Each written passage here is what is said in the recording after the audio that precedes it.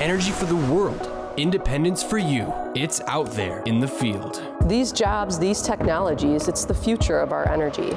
You care about the environment, how energy is used, and the energy security of our country. You can get in all kinds of, of work. I mean, it's, it's unbelievable. We can take care of you. We got a lot of resources. We've made a lot of connections. A career in energy is the future of our world. Start today at NWTC.